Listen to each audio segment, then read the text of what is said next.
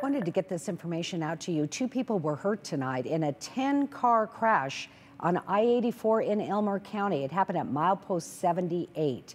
Idaho State Police say just after 2 o'clock this afternoon, a semi truck pulling a trailer failed to stop in time for traffic that was slowed down in a construction zone. Police say the semi hit nine other vehicles. Traffic was blocked for about four and a half hours. ISP is still trying to figure out exactly what happened with all of that. I'm sure our crew overnight will try to get more information for you for our morning news.